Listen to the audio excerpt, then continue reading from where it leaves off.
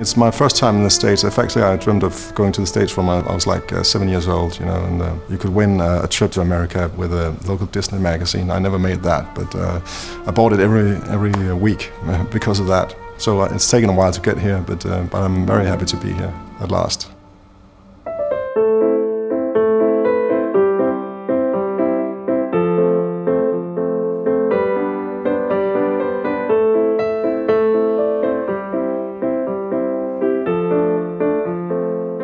My name is Jesper Fink Jensen. I'm from uh, Denmark, in a small uh, town uh, a bit of a, a, distance from Copenhagen. And I work as an organist and a music educator. I teach mostly adult education. My name is Nathalie Bonin. I was born in San Francisco and I was raised in Montreal. I'm a violinist and composer, and, and I'm now in the planning of moving to LA. Well, I became interested in music because my mother was a music teacher at school and uh, my father was a jazz clarinetist. So music has always been a bit of my upbringing. I got interested in music when I was four. Uh, my mother brought me to this concert of young violinists and I was so impressed. So I asked her after, oh, could I please try? So that's how I got started. I'm not very much into the serialism or things that don't touch me. I know there's a lot of, of contemporary techniques of composing and I have to say that to me it's very hard because I feel it's very mathematical. I always need to feel something through the music. So if, if I feel it's more a puzzle than an emotion, it doesn't really suit me. I have quite a lot of different uh, musical influences. It depends on which instruments I'm playing, and, and, and, it can get me quite confused because I, in church, I work as a classical organist, and I feel perhaps close to Bach and uh, Widor and, and, classical names like that. But when, when I play electric guitar, it's more like uh, Eddie Van Halen and Steve Vai and stuff like that. So it, it depends on the situation, but I, I, wish I could pin it down to one influence because it, it makes me quite confused, you know. I don't know who I am, musically speaking, after all these years. When I started, my first major influence with uh, Yehudi Menuhin. And then later on when I explored other kinds of music, it just went from Jean-Luc Ponty to uh, Nusrat Fateh Ali Khan and all these Indians uh, playing music. I just love the rhythms. I also like all the hybrid scores, like Diego Stocco is just an idol. He just plays with sand and burning pianos and stuff like that. And it's like a new way of thinking of music, which is beyond the square box, basically. Later on, when I was on tour, I got interested in uh, arrangement through Berklee Online. And as I went along doing a lot of courses online, I really found out how much passion I had for composition. And that's how I ended up doing the whole master's certificate in film and television orchestration. Well, I discovered Berklee Online just by Googling or whatever. And uh, I was like 44 at that point and thought if I'm ever going to learn to orchestrate and be better at uh, writing classical music or film music, then it had to be now, you know. So since I'm working full time, it was uh, it's a great option to be able to study online. My process for writing music uh, depends on the project. I never know what's going to come out of it, but after experimenting, that's how I think I get to that deep place that actually inspires me to write the music. My process for writing a piece is, uh, in fact, I usually hear it from my uh, inner ear and then write down the theme and the main form of the piece. It always starts with a lot of exploring. I'm not thinking of chords, just thinking of emotion when I want to translate through music and then that just goes on and on. that, the first part can take a while, but once I get that, then it seems like the rest kind of flows. So uh, the general plan for the piece is finished uh, quite quickly and perhaps when I'm asleep and you know just wake up and write something. But I've done a lot of transcription so it's fairly easy for me to write down what I'm hearing. I didn't like silence a lot because then I can better hear what I'm imagining and that's why I like uh, living in the country. Well, I live in this village, uh, was called Cape Flinderup, where nothing is happening, basically. Uh, but that's the, the, beauty of it, you know. Uh, and that's why I thought that it should have its own piece of music, because nothing has ever been written about Flinderup, and it's out in the woods close to the local lake and stuff like that.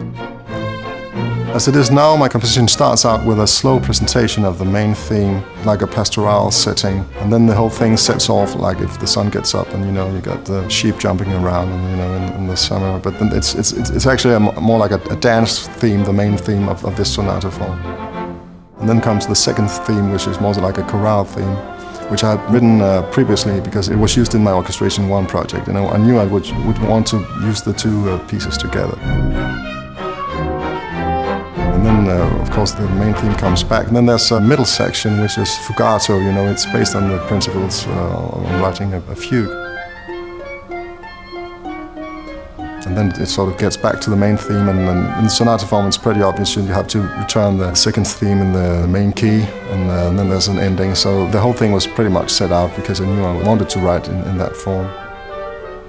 The most interesting thing was, in fact, how you could orchestrate the different parts. You know? For instance, try to make each voice stand out in the middle section where it's fugato. You have to hear many voices uh, at once, as opposed to in the ending where it's sort of supposed to be just a bit chaotic before the, the grand finale. You know? So, um, and you can achieve that by using a certain orchestration in certain places.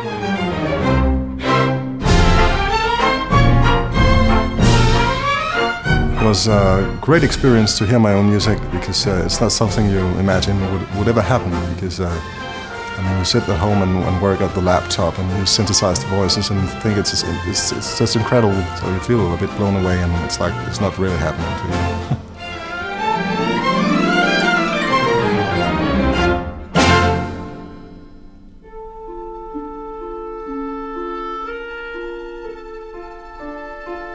hearing my performance live was just incredible. It was um, another one of those rare moments where I actually get to hear the music that I've composed with live players, and it's such a rare opportunity. So it was very touching to see all those students perform it.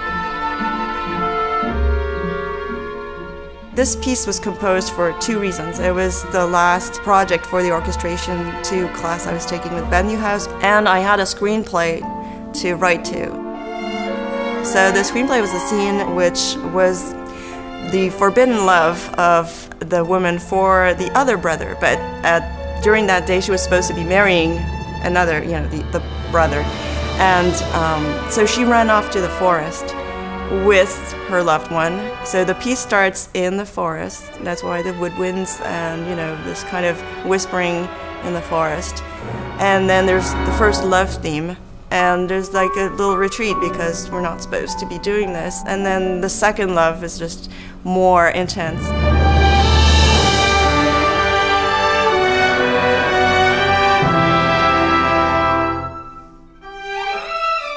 And then they get caught by uh, the mad brother who's like waiting for his wife to be. Um, so he comes in and just decides to kill his brother. Um, so that's where the stabbing part, uh, the fight part, uh, starts. And then at the end, they actually kill each other, and she is right in the middle. She sees her loved one die. She watches him die in front of her while his other brother is also dying. So she remains the only survivor of this tragedy.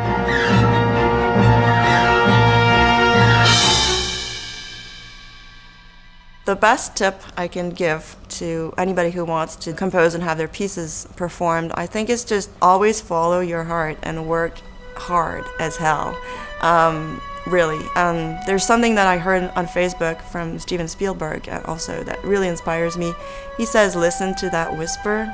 And I think that is just so great because whatever your heart is saying, it's not going to cry it out loud.